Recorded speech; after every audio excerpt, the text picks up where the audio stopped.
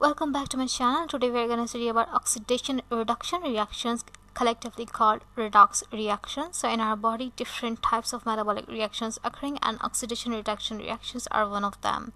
तो हमारी बॉडी में बहुत सारे केमिकल रिएक्शंस परफॉर्म हो रहे हैं एंड ऑक्सीडेशन रिडक्शन रिएक्शंस यानी रिडॉक्स रिएक्शन उनमें से एक हैं The oxidation induction reaction is a type of chemical reactions that involves a transfer of electron between two species यानी कि एक एटम दूसरे एटम को अपने इलेक्ट्रॉन ट्रांसफ़र कर रहा होता है, उन्हें हम ऑक्सीडेशन रिडक्शन रिएक्शन कहते हैं।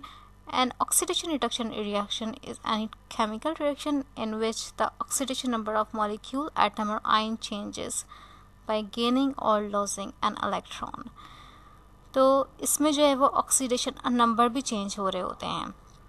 Redox reactions are commonly uh, sorry redox reactions are common and vital to some of basic functions of life like photosynthesis में हमें ये reactions देखने को मिल जाएँगे cellular respiration में combustion में and etc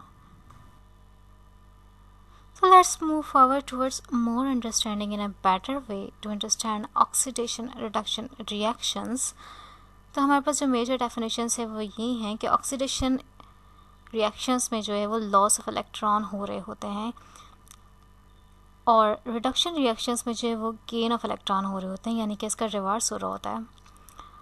इसी तरह ऑक्सीडेशन रिडक्शन में सेकेंड नंबर पर लिखा हुआ है लॉस ऑफ़ हाइड्रोजन इसी तरह रिडक्शन में जो है वो गेन ऑफ़ हाइड्रोजन हो रहे होते हैं, यानी कि इसका रिवर्स हो रहा होता है।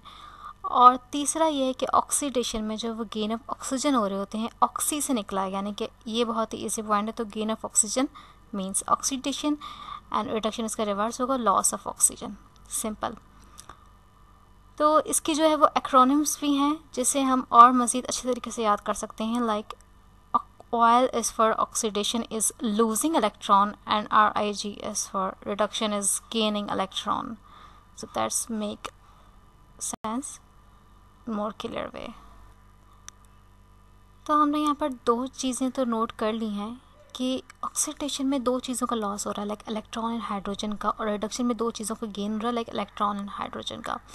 तो ये दोनों एक दूसरे के रिवर्स हैं राइट अब हम रिएक्शन से समझने की कोशिश करते हैं। हमारे पास सोडियम क्लोराइड का यहाँ रिएक्शन है। अगर हम इस रिएक्शन को डीप में देखेंगे तो यहाँ पर सोडियम के पास जो है वो ऑक्सीडेशन स्टेट ज़ीरो है और क्लोरीन के पास भी ज़ीरो है। यानी कि यहाँ पर अभी चार्जेस नहीं हैं। तो अगर ये दोनों अट्रैक्ट होते हैं इलेक्ट्रोस्टैटिक फोर्स ऑफ़ अट्रैक्शन के ज़रिए और आयनिक बॉन्ड बनाते हैं, यानी कि सोडियम अपने इलेक्ट्रॉन्स क्लोरीन को दे देता है और क्लोरीन ले लेता है तो सोडियम के पास क्या आ जाएगा? पॉजिटिव और क्लोरीन के पास क्या आ जाएगा?